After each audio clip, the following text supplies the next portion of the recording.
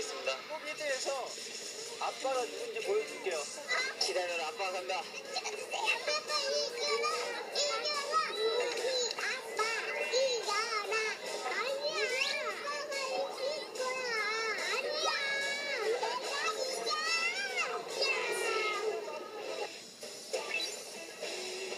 아기들 또한 신경전이 대단한데요. 아빠들의 불꽃 튀는 눈썰맨 레이스. 과연 결과는 어떻게 될지 지켜볼까요?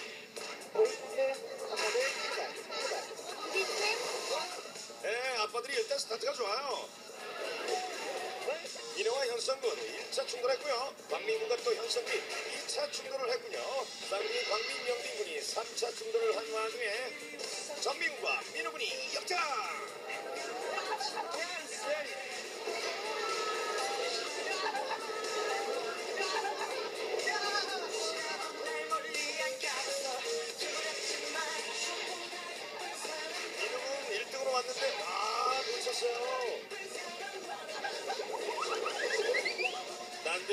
깃발 뺏기 신조 게임 정신 차려 얘들아.